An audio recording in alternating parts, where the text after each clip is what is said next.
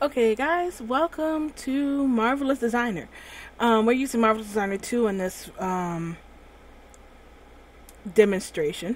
I don't know why my words just failed me, but we're using Marvelous Designer 2 because it's the one I love the most. And um, yeah, it's the greatest.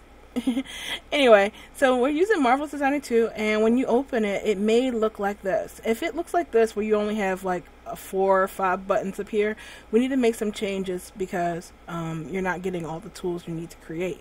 So if your toolbar is like this, I need you to move your mouse right here in this gray bar, right click on it, and make sure that the 2D pattern toolbar is checked. Um, otherwise, you'll be missing out on all the design tools that you actually need to make this program go. Alright, so now that we have that fixed, let's start by bringing in our avatar that we need to make clothes for. So let's go grab our baby. So you want to go over to File, Open, and Avatar. And you're going to look for, um, you're going to navigate to your project folder, in this case on my desktop. So I'm going to move to my desktop and we're going to select the, the baby. And when you click it, you're going to be greeted by this little pop-up menu right here.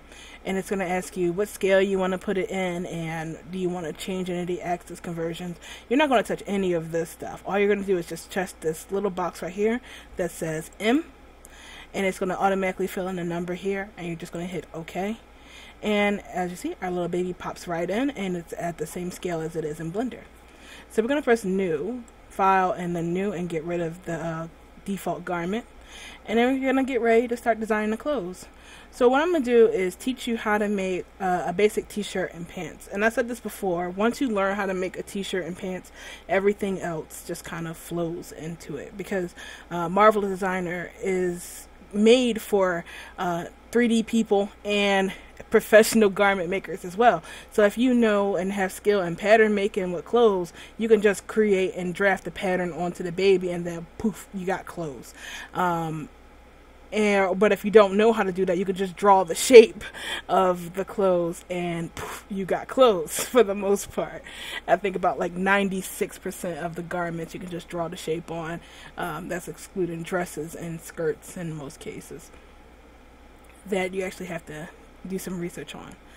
But right now we're going to talk about the simple thing, the t-shirt and the pair of pants. But um, before then, I'm going to have to show you the tools. That way you can know what you're clicking on. So what we're going to do is talk about the windows. This is, so I'm going to do a, a quick run through of how to use Marvelous Designer. That way you know what I'm talking about and you know you can master the program a little bit faster. Alright, so you ready? Okay, let's begin. So this right here is the 3D window. This is where your 3D model will be, where you can preview it, where you can do your 3D segment sewing and uh, pull and manipulate the pattern that you create over here in the 2D window. The 2D window is well, basically it's a 2D window where you draw on your pattern and um, do the labeling and all the stuff here.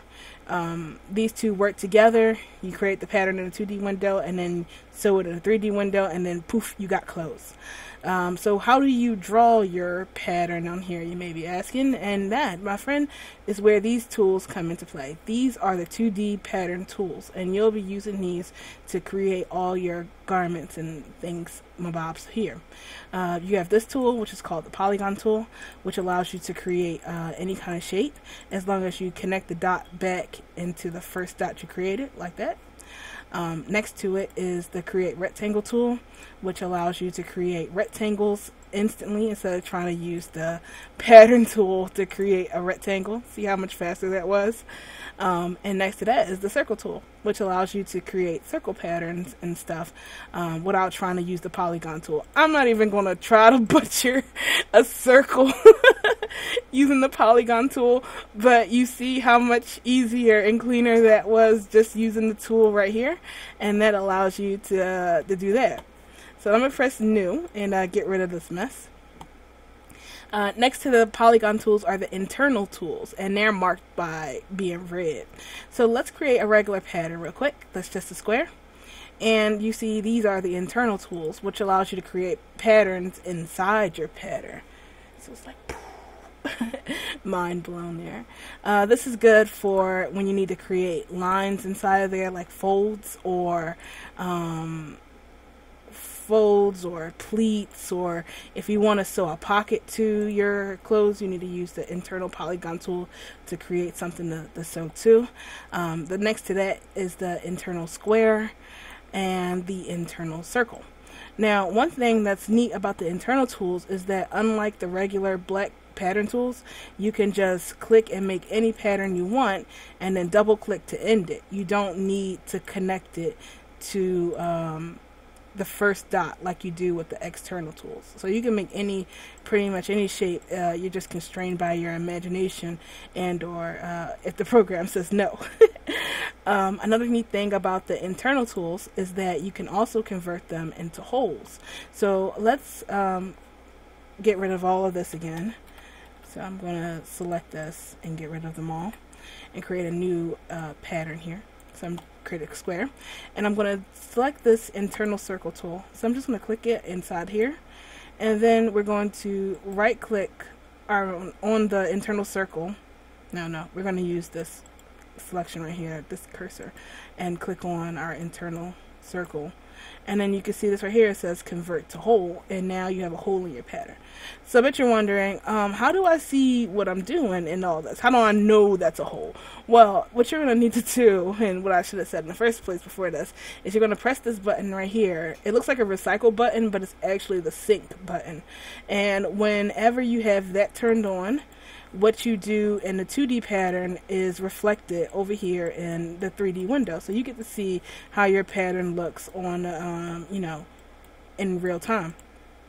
If you have it turned off, you'll see that the pattern turns red and this means it's not syncing. So whatever you do on here, oops, sorry, whatever you do here isn't reflected in the 3D pattern and isn't changed because it's not in sync with each other. So once you turn that back on, you see it comes back and it starts working. Alright, so get out of here, Shuji. Okay, so you got that. So what about these other tools? What do these do? Now, with these tools, um, these are pattern manipulation tools. Uh, I'm going to create another pattern here, another rectangle, so you guys can see it. And you're going to use this tool right here, which is like our universal edit point tool, which allows you to click on points. Uh, you can move the pattern about, you click on the points, and you can manipulate them that way, like clicking there and doing that, or doing this like that. Uh, next to that is the black one, which allows you just to click patterns as a whole. So I'm going to show you what I mean by that. So you can just click paste and paste here so you can just select this pattern and you can select and manipulate all the patterns at once. It's just a general um, pattern selection tool, which is transform pattern tool is what it's called, but it allows you to edit and transform and manipulate your multiple patterns or something like that. Get it? Okay. Um, next to that is the edit curve, add a curve.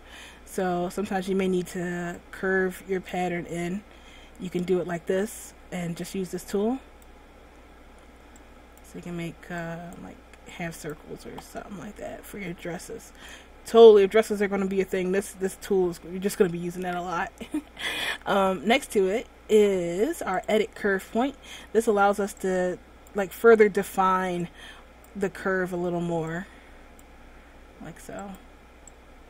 So you can edit and make crazier curvy thingies right here by using that.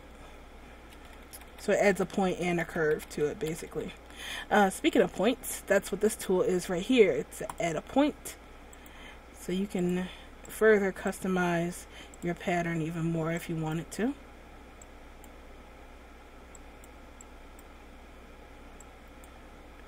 And if you want, you could just add another one right there.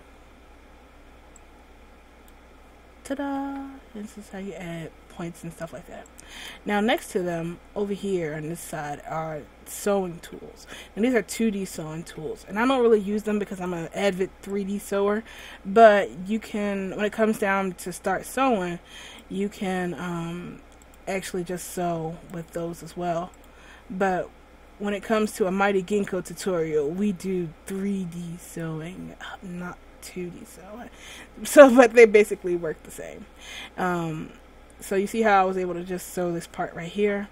Uh, you can do the same thing over here Ugh, if I can just select it. Jeez. Look at this. So tools pretty much work the same.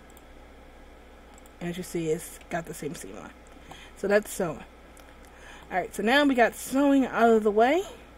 Let's go and um, dive in and start making our garment. So let's press new and get out of here.